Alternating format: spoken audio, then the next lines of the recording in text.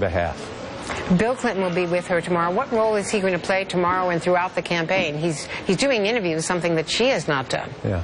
Well, she's talked to the press out there, Andrea. I know there's a normal back and forth on this. This is a long Well, campaign.